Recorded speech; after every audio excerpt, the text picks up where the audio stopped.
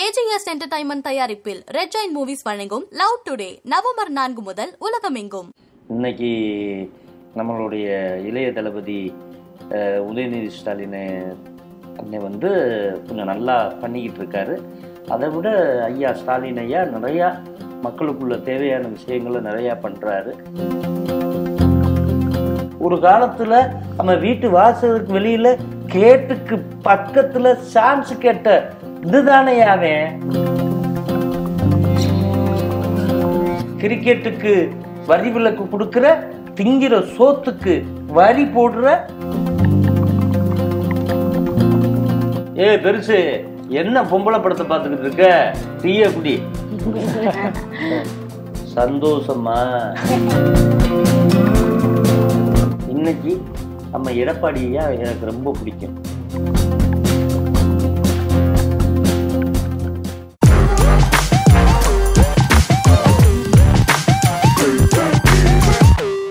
ஆனந்த விகடன் குடும்பம் அனைவருக்குமே மிகப்பெரிய ஒரு வணக்கம். நான் உங்கள் Madhavan KS she is Karthika. And இந்த இன்டர்வியூவில் யார் நம்ம கூட ஜாயின் பண்ணிக்கலாம் பார்த்தீங்கன்னா கஞ்சா கருப்பு அண்ணன் தான். கஞ்சா கருப்பு அண்ணனோட வெற்றி தோல்வி வாய்ப்புகள் வருத்தங்கள் அண்ட் எந்த மாதிரி அவர் ஒரு நல்ல மனிதர் அப்படின்ற மூலியமா இந்த இன்டர்வியூவில் அவர்கிட்ட கேட்டு தெரிஞ்சுக்கலாம். போலாமா இன்டர்வியூவில் ஷூர் ஷூர் ஷூர் வணக்கம் அண்ணன். வணக்கம் சார் அம்மா வணக்கம்மா வணக்கம்மா. நல்லா இருக்கீங்களா? நல்லா இருக்கேன். நீங்க எப்படி இருக்கீங்க சார் நல்லா இருக்கம்மா நல்லா இருக்கம்மா. சார் இப்போ எங்க? சென்னையில இருக்கீங்களா? இல்ல வந்து உங்க சொந்த ஊர்ல இருக்கீங்களா? எங்க இருக்கீங்க இப்போ? கண்ட ரெண்டு மெட்ராஸ்குள்ள சுத்துறா இந்த கஞ்சா கருப்பு சுத்தக்கூடாதா? இருக்கக்கூடாதா? இல்ல சார் எங்க இருக்கீங்க அப்படின்னு தெரிஞ்சுக்கதான். நான் மெட்ராஸ்ல தான் இருக்கேன். என்னுடைய வீடு வளசுற பக்கம். ஏன்னா ப பழைய வீடு நான் பாலா மீர் இல்லம்ங்கிறத கொடுத்துட்டேன். கொடுத்துட்டு இப்போ வாடகைக்கு ஒரு முப்பதாயிரம் ரூபாய் வாடகையில் சந்தோஷமா வாழ்ந்துக்கிட்டு இருக்கேன் சூப்பர் சார் சூப்பர் சார். அண்ணா உங்க கையில இருக்க பச்சை பச்சையை பத்தி பேசி ஆகணும் இந்த இருக்கு இந்த இங்க இருக்கு அப்புறம் அந்த ஆமா. இந்த அர்த்தத்தை தான் கேட்டு ரெண்டு ஹார்ட் அந்த பேர். யாருண்ணா அது? உங்களுக்கே தெரியும் பாருங்களேன் உங்க மனைவியான சொல்லுங்க உங்க காதல் கதை அதெல்லாம் பத்தி சொல்லுங்க காதல் கதையை சொல்லணும்னா இப்போதைக்கு நான் சொல்ல முடியாது. அது ரொம்ப முடிஞ்சு போன கதை. ஓகே. இனிமேல காதல் பண்ற அளவுக்கு மன்ற உடம்புல தெம்பு இல்லை. ஒரு பொண்ணுகிட்ட ஐலாப்பி சொல்றதுக்கு தெம்பு இல்லை. எல்லாமே பேரம்பேத்தி எடுக்கிற வயசாகி போச்சுல்ல இனிமேல எங்கிட்ட நம்ம போய் லவ் சொல்ல முடியும்? அண்ணா நமக்கு வந்து காதல் திருமணமா இல்ல வந்து அரேஞ்ச் மேரேஜா உங்களுக்கு? நான் ஒரே நாள்ல பார்த்து லவ் பண்ணவேன். ஒரே நாள் சொல்லு அந்த அந்த அந்த ஞாபகத்தை பத்தி சொல்லுங்கண்ணே ஒன்றும் இல்லை. வாழ்க்கையில் வந்து முத முத என் மனைவியை பொண்ணு பார்க்க போனேன். பார்க்க போகும்போது யாருமே ஃபோன் நம்பர் கொடுக்க மாட்டாங்க. அப்போ நான் வந்து தனியாக கூப்பிட்டு உங்கள் ஃபோன் நம்பர் மட்டும் கொடுங்க அப்படின்னு. ஒரு அரை மணி நேரம் தான் பேசினேன். ம். ஊர்ல இருந்து சென்னை வர வரைக்கும் பேசிக்கிட்டே இருந்தேன். அந்த ஒரு. பொண்ணுடைய மனசை அப்படியே என் பக்கத்து டைவர்ட் பண்ணி இழுத்தேன். இழுத்து ஒரே நாள்ல நிச்சயார்த்தத்தை வச்சு ஒரே நாள்ல கல்யாணத்தை முடிச்சு அடுத்த நாளே வீட்டுக்கு கூப்பிட்டு வந்துட்டேன். அண்ணா அப்ப இந்த கையில இருக்க இத இது? வந்து புரட்சி தலைவர் எம்ஜிஆர் ஐயாவுடைய ஏழு வயசுல எங்க அம்மா வந்து இன்னைக்கு கொரோனா காலகட்டம் மாதிரி அன்னைக்கு உள்ள நிலைமையில அந்த அம்மா கால்ரா இந்த மாதிரி வியாதிகள் வரும்போது அப்போ வேற எதுவுமே பண்ண மாட்டாங்க. ஒரு சாதாரண குறவிட்டம்மா அதுக்கிட்டதே நான் ரொம்ப வளர்ந்துருக்கேன். அது பேர் கூட சாந்தி. இந்த மாதிரி அதை தான் என்னை தூக்கிட்டு போகும். அப்பப்போ ஏதாச்சும் இது ஒன்று அப்போ இவனுக்கு இந்த இந்த வியாதினா வரப்போதா முடி பச்சையை குத்தி விட்ரி அப்படின்னு சொல்லுவோம் இப்போ அது பச்சையை குத்தி விட்டுருச்சு எம்ஜிஆர்னு உங்களுக்கு எம்ஜிஆர் எவ்வளவு பிடிக்கும்? எனக்கு நிறையா பிடிக்கும். புரட்சி தலைவர் சார் எம்ஜிஆர் அவ்வளோ பிடிச்சிருக்கும். அப்ப கண்டிப்பா அரசியல்லையும் உங்களுக்கு எல்லாமே தெரிஞ்சு வச்சிருந்திருப்பீங்க. இப்ப கரண்டா இருக்கிற அரசியல் சூழ்நிலை தமிழ்நாட்டை பத்தி என்ன நினைக்கிறீங்க? நல்லா இருக்குமா ஒன்றுமே பிரச்சனை இல்லை. இன்னைக்கு நம்மளுடைய இளைய தளபதி உதயநிதி ஸ்டாலின் அன்னை வந்து கொஞ்சம் நல்லா பண்ணிக்கிட்டு இருக்காரு. அதை விட ஐயா ஸ்டாலின் ஐயா நிறையா மக்களுக்குள்ள தேவையான விஷயங்களை நிறையா பண்ணுறாரு பண்ணிக்கிட்டே அந்த வழியில் போய்கிட்டு இருக்காங்க. இன்னமும் கரெக்டாக இருந்து கரெக்டாக பண்ணாலாம் அடுத்தும் அவங்க தான் ஜெயிப்பாகணும். நான் ஒரு கருத்து கணிப்பில் சூப்பர் சார். கஞ்சா கருப்பண்ண இளைய தளபதி பத்தி சொல்லிட்டீங்க தளபதி பத்தி சொல்லிட்டீங்க. தலைவரை பத்தி நீங்க பேசி ஆகணும். உங்க பேருக்கு வந்து அவர் மன்மோகன் சிங் கிட்ட ஒரு அடையாளம் தான் சொன்னார்ல. அந்த ஞாபகத்தை பத்தி சொல்லுங்க. ஐயா கலைஞர் ஐயாவை பத்தி சொல்லுங்க. உண்மையிலே வந்து இன்னைக்கு சினிமாக்கள்ல யாருமே செய்யாத ஒரு விஷயத்த நம்ம ஐயா முதல்வர் கருணாநிதி ஐயா வந்து அவ்வளோ ஒரு அழகாக சொல்லிட்டு போனாங்க. தமிழ் பேர் வச்சால் இதுக்கு மானியம் கொடுக்கப்படும் அப்படின்னு. இன்னைக்கு என்னென்னமோ இங்கிலீஷ் பேர் தான் வருது. அதுக்குன்னா கொடுக்குறதுக்கே நம்ம தமிழ்நாட்டில் பங்கு கிடையாது. இருந்தாலும் கலைஞர் ஐயா சொன்ன விஷயம் நல்லது. முதல் முதலாக ஒரு அவர் பேனா முனையில் நான் இருந்து எனக்கு கையெழுத்து போட்டு கலைமாமணி அவார்டு நான் வாங்கினேன். அப்போ மன்மோகன் சிங் ஐயா சொன்னார் அது என்ன மீனிங் கஞ்சானா? அப்படின்னு. அவர் உடனே சொன்னார் அதுக்கு. கஞ்சானுங்கிறது சிவனுக்குள்ள ஒரு பேர். அதனால அவரை வந்து கஞ்சா கருப்புன்னு பேர் வச்சிருக்காங்க. இந்த பேர் வந்து எனக்கு ரொம்ப சு- சுவாரஸ்யமானது அதுகளை புஸ்தகத்துக்குள்ள போய் படிச்சாத்தே தெரியும். ஆனா இந்த பேர்க்காரங்களாம் கொஞ்சம் சுறுசுறுன்னு பரபரப்பரன்னு திரிவாங்க. நல்ல பையன் நல்லா வருவேன் அப்படின்னு சொல்லி அவர் கதை வசனத்திலே எனக்கு பசுபதி ராசக்காப்பாளையம்னு ஒரு படத்துல ஜெயிலுக்குள்ள பத்தி இந்த ஒரு சாங் வந்து எனக்குன்னு அவர் பேனா முனையில இதை வேற யாரையுமே ஆட விடக்கூடாது கஞ்சா கருப்பை பாட சொல்லு ஆட சொல்லுன்னு சொன்னார். சூப்பர்ண்ணா ஸோ உங்களோட ஃபிலிம் மூவிஸ் கரியர் பத்தி பேசுறப்போ இப்போ கரண்டா என்னெல்லாம் படம் பண்றீங்கண்ணா இப்போ வந்து நான் பண்ணிக்கிட்டு இருக்கிறது அமீர் சார் அமீர் அண்ணே படம். நாக்காளி அதே விறுவிறுன்னு போய்கிட்டு இருக்கு எனக்கு தெரிஞ்சு இப்போ ரிலீஸ் ஆயிருன்னு நினைக்கிறேன். அந்த படங்கள் அங்கங்கே ஷூட்டிங் போச்சு தப்ப குரல் பதிவு போச்சு. இதெல்லாம் முடிச்சுக்கிட்டு இருக்கேன் அது போக இந்த புதுநில கருவின்னு பண்ணாப்புல இல்லை. ஆ. சுனோ ஆமா, ஆமா, டைரக்டர் அந்த பையன் ஒரு அரசியல் படம் பண்ணியிருக்காரு. Okay okay okay. அவன் கொஞ்சம் நல்லா பரபரப்பா ரொம்ப பட்டையை கிளப்பிக்கிட்டு இருக்காப்புல உண்மையிலே அவர் அந்த படத்துக்கு அப்புறம் எனக்கு இன்னும் ஒரு பெரிய மார்க்கெட் இருக்கு. இதில் நான் கரெக்டாக தக்க வச்சுக்கிறேன்னு. அதே மாதிரி சௌரி ஐயப்பா பண்ணிக்கிட்டு இருக்கேன். அதே மாதிரி சீனன் படம் இடி முழக்கம் பண்ணிக்கிட்டு இருக்கேன். அப்புறம் மலையாள படம் ரெண்டு பண்ணிட்டு வந்தேன். Super sir. வரிசையா படங்கள் வச்சிருக்கீங்க. ரொம்பவே பிஸியா இருப்பீங்க அப்படின்னு தான் நினைக்கிறேன். ஆஹ் இதற்கு முன்னாடி உங்களுடைய ஃபிலிம் கரியர் ஸ்டார்ட் ஆன புதுசுல பாலா சார் படங்களா இருக்கட்டும் இல்ல அமீர். சார் படங்களா இருக்கட்டும் இந்த மாதிரி டேரக்டர்ஸ் உடைய படங்கள்ல நீங்க நிறைய நடிச்சு உங்களுக்கு ஒரு பெரிய பிரேக் கரியர்ல கிடைச்சது. அதற்கப்புறமா ஒரு இடைவேளைக்கு பிறகு திருப்பி ஒரு பிரேக் இப்போ உங்களுக்கு கிடைச்சிருக்கு. ஸோ இந்த மொத்த ஜேர்னியை பத்தி சொல்ல முடியுமா? ஸ்டார்டிங்ல இருந்து அப்புறம் நடுவுல ஒரு சின்ன இடைவெளி அதுக்கப்புறம் திருப்பி இப்போ ஒரு பிஸியான ஸ்கெட்யூல் ஸோ இந்த மொத்த விஷயங்களை பத்தி சொல்ல முடியும்? உண்மையிலுமா நான் பாலான்ட்டு முதல் முதலாக அவர் அலுவலகத்தில் வந்து தங்கினேன். தங்கும் போது ஒரு ஆபீஸ் பையத்தை வேலை பார்த்தேன். அப்போ சொன்னார் நீ வளர்ந்ததுக்கு அப்புறம் என்னுடைய பேரை சொல்லு. வளர்றதுக்கு முன்னுக்க சொல்லக்கூடாது. அது வந்து குத்துப்பட்டாலும் மோதிரங்கையில் குத்துப்படணும். இந்த மாதிரி எனக்கு ஒரு பிளாட்ஃபார்ம் எனக்கு ஒரு தனி ரோடு போட்டு கொடுத்தது ரெண்டு குருநாதர் தான். இன்ன வரைக்கும் நான் அதை மறக்கக்கூடாது. எத்தனை ஏணிகள் இருந்தாலும் எத்தனை சூழல்கள் இருந்தாலும் என் குருநாதர்கிட்ட இது வரைக்கும் நான் உட்கார்ந்து பேசினதில்லை. கையை கட்டிக்கிட்டு தான் நின்று பேசினேன் அந்த ஒரு மரியாதை. மதியாரி ரெண்டாவது அந்த பள்ளிக்கூடத்துக்குள்ள வாழ்ந்த வாழ்க்கை. இன்னைக்கு சில பேர் வந்து வாராங்க வந்துட்டு அசால்ட்டாக வந்து போய் உட்கார்றாங்க அட்டனக்கால போடுறாங்க. இதெல்லாம் இப்படி பண்ணிக்கிட்டு இருக்காங்க. இது எதுக்கு பண்ணுறாங்க என்னத்துக்கு பண்ணுறாங்கன்னே எனக்கு தெரியல. இந்த என்னன்னா நம்ம அந்த கிராமத்துக்குள்ளே இருந்து வந்த முறைகளை நல்லா கற்றுக்கிட்டு இருக்கோம். இவங்க அதை மறந்துறாங்க. அது அந்த மறதி வந்து எங்கேயாச்சும் ஒரு இடத்துல ஸ்டாப் ஆகி நின்றோம் அடுத்து நம்ம ஒண்டி ஸ்டார்ட் ஆயிடும் ம். இதுக்குள்ள வேலை நடுவுல இந்த இடைப்பட்ட காலம் உங்களுக்கு எப்படி இருந்தது சார்? இடைப்பட்ட காலங்கள்லாம் அம்மா ஒரு மனிதன் வந்து வெற்றி வெற்றி வெற்றி. இதில் வந்து அதிகமாக போயிட்டு இருக்கிறவன் அதை பற்றியே சிந்திக்க மாட்டாங்க. தோல்வி தோல்வி தோல்வி. இந்த தோல்வியை சந்திச்சவன் அடுத்து நம்ம எப்படி நிற்கணும் இந்த படிக்கட்டில் எப்படி ஏறணும் இதுக்குள்ள பிளானை பண்ணுவோம். இன்னைக்கு நான் தோல்வியத்தையும் செஞ்சுக்கிட்டு இருந்தேன். தோல்வியத்தையும் நிறைய நான் சந்திச்சிட்டேன். ஏன்னா அமீரனே வந்து ஒரு ஆடியோ லான்ச்சில் சொன்னார் என்கிட்ட. டேய் சினிமானுங்கிறது ஒரு பொக்கிஷம். அப்படியே உருண்டு போகிற மிஷின்றா அதை வந்து உன் கையில் வச்சுக்கிட்டுதே ஏந்துற மாதிரி தாங்கிக்கிறணும் விட்டுட்டீங்கன்னா உடஞ்சிருச்சுன்னா அதை ஒட்டுறது ரொம்ப கஷ்டம். இன்னைக்கு நான் அதை கொஞ்சம் கவனம் இல்லாமல் நடந்துக்கிட்டேன். இப்போ கவனத்தோடு இருக்கேன். முதல்ல மேனேஜர் வைக்கக்கூடாதும்மா. மேனேஜர் வச்சோம்னா நம்ம லைஃப் கெட்டு போவோம் முதல் பாயிண்ட் எதா இருந்தாலும் ஒரு லட்சமா இருக்கட்டுமா ரெண்டு லட்சமா இருக்கட்டுமா என்கிட்ட ஸ்ட்ரைட்டாக பேசுப்பா. நானே வந்து நடிச்சு கொடுத்துறேன். இன்னைக்கு வரைக்கும் நான் ட்ராவல் வந்து கரெக்டாக பண்ணிக்கிட்டு இருக்கேன். மேனேஜர் இருந்தானா குழப்படி பண்ணிக்கிட்டே இருப்பேன் ஆனா இதோட தொடர்ச்சியா சினிமால நீங்க நல்லா தான் பயணிச்சிட்டு இருந்தீங்க. இடையில கொஞ்ச நாள் அரசியல் வரணும்னு ஒரு ஆசைப்பட்டீங்க. அதை பத்தி சொல்லுங்க. ஏன் இப்படி திடீர்னு அரசியல் அந்த மாதிரி தான் அரசியல்லாம் நான் இன்ன வரைக்கும் அண்ணா திராவிட முன்னேற்றத்தில் இருந்தேன். அதுல மாற்று மாற்றமே இல்லை.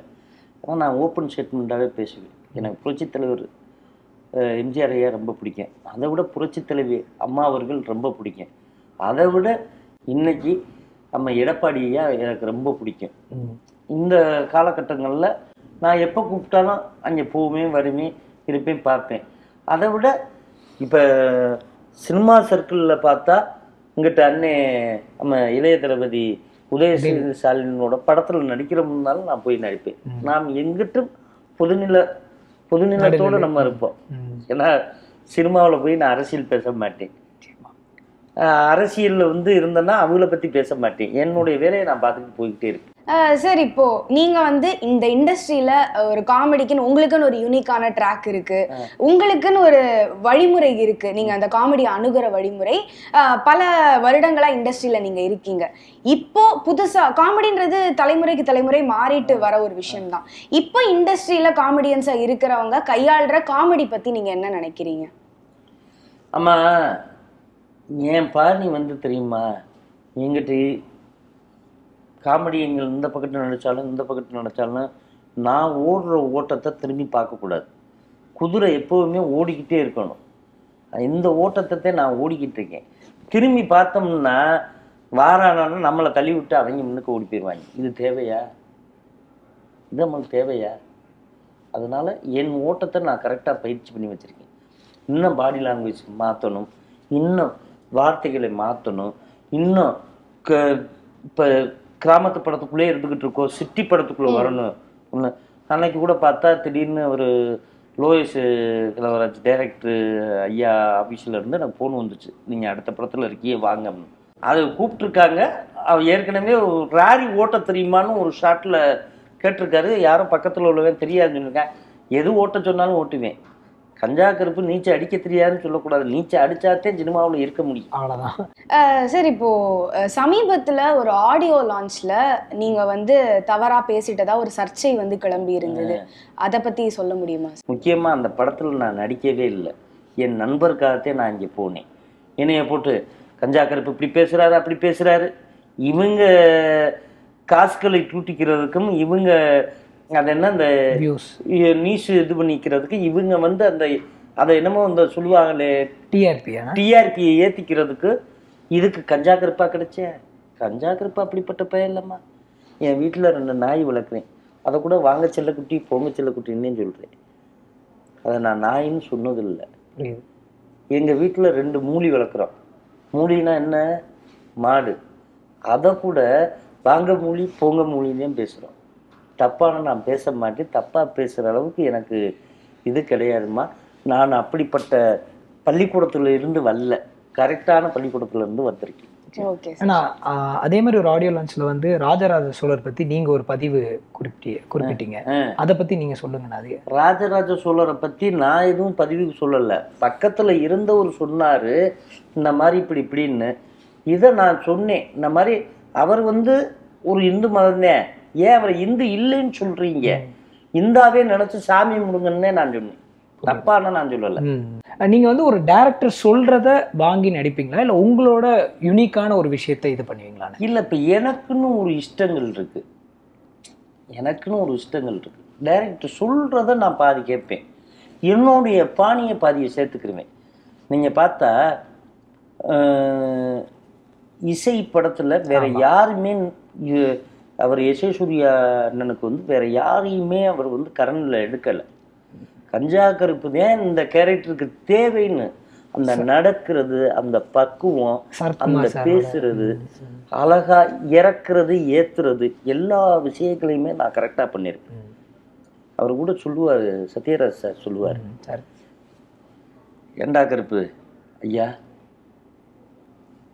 இதுக்கும் மித்த நடிக்கிறதுக்கு எவ்வளோ வித்தியாசம் இருக்கு? இந்த ஐயான்னு சொன்ன வார்த்தை எவ்வளோ பெரிய சரியான வார்த்தை? ஐயா. என்னடா கருப்பு? அவன் வந்து போகிற வளர்ச்சியை வளர்ச்சியை பார்த்ததா?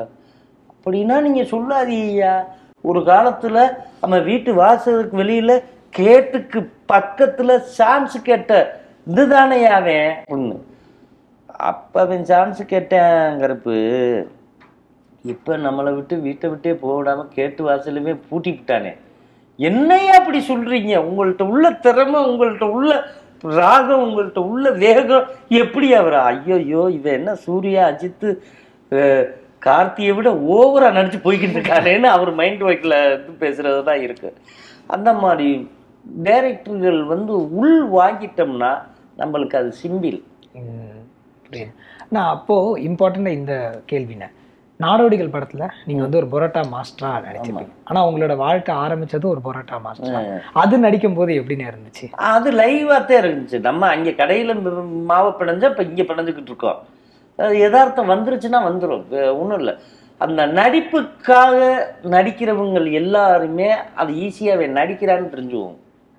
நான்லாம் யதார்த்தமாக அடிப்பட்ட காலத்துலேருந்து வந்திருக்கேன். என்னன்னா ஹோட்டல்லனா என்னுடைய ஹோட்டல் தான். என்னுடைய ஹோட்டலாக இருந்தாலும் நான் வந்து எச்சியிலையில் வேற யாரையும் எடுக்க விட மாட்டேன். நான் தான் அந்த பெரிய ட்ரம்மை தூக்கி கூட்டு போய் எச்சியிலையை கொட்டி புட்டு அதை கழுவி வடியும் மேலே உள்ள குளிச்சுட்டு வந்து சாமி கும்பிட்டு அதுக்கப்புறம் சாப்பாடை சாப்பிடுவேன். இன்னைக்கு இலையை தூக்குனதுனால தான் இன்னைக்கு நான் ஒரு பெரிய நடிகர்? ஒரு நடிகனா வா இதில் வந்திருக்கேன்.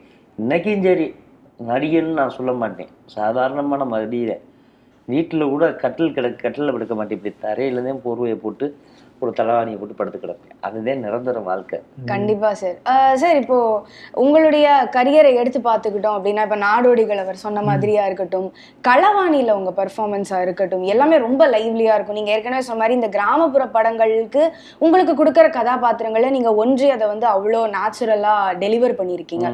அப்படி நீங்க டெலிவர் பண்ண சில டயலாக்ஸ்ல ஏதாவது ஒன்னு ரெண்டு பேச முடியுமா? பருத்தி வீரன்லயோ இல்ல களவாணிலையோ உங்களுடைய டயலாக்ஸ் ஏதாவது ஞாபகம் இருந்தா பேச முடியுமா சார் பருத்தி விரல்ல பேசணும்னா. ஏய் பெருசு என்ன பொம்பளை படத்தை பார்த்துக்கிட்டு இருக்க? டீய குடி. சந்தோஷமா? அது எனக்கு ரொம்ப பிடிச்சிருக்கு களவாணியில். டேய் கூடிய சீக்கிரம் என்னையவே கேதம்னு சொன்ன இந்த பஞ்சாயத்தை இன்னமீல உங்க ஊருக்குள்ளே கால் எடுத்து வைக்க மாட்டேன்டா. வீல்ல நானே மொத்தமா இறங்குறேன்டா. அப்படின்னு. ஐயோயோ ஐயோயோ என் தாலியை கட்டிட்டானே கட்டிட்டானே. எங்க இவ்வளவு வேகமா போற?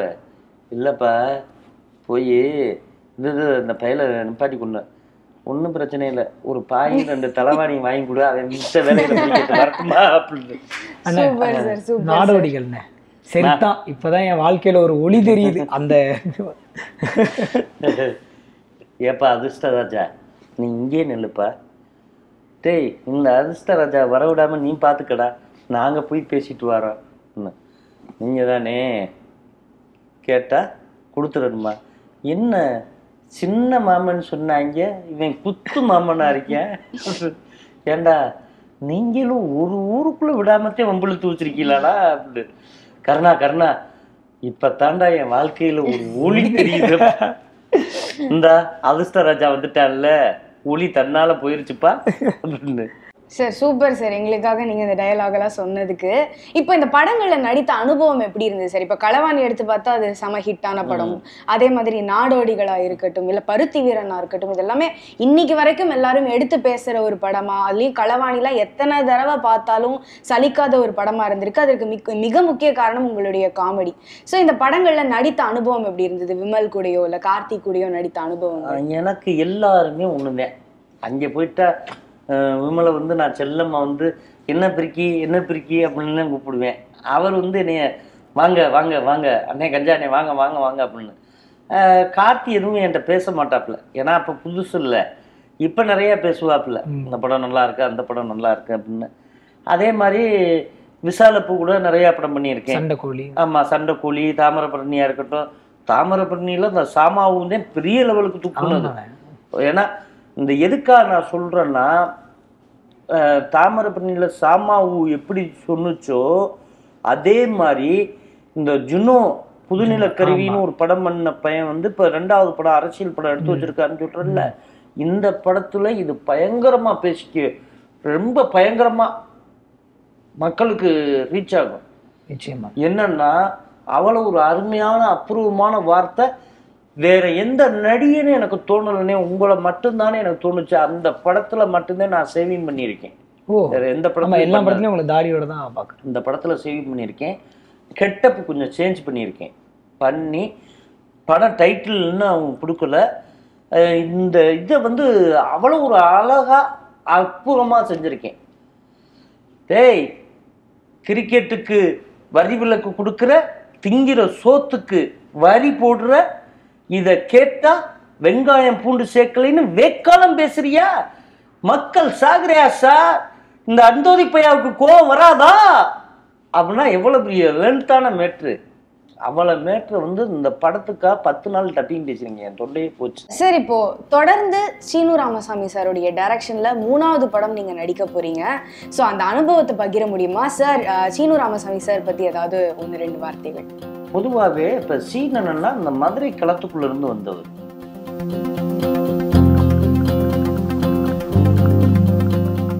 ஏஜிஎஸ் என்டர்டைன்மெண்ட் தயாரிப்பில் யுவன் சங்கர் ராஜா இசையில் பிரதீப் ரங்கநாதன் இயக்கத்தில் ரெட் ஜாயின் மூவிஸ் வழங்கும் லவ் டுடே நவம்பர் நான்கு முதல் உலகமெங்கும்.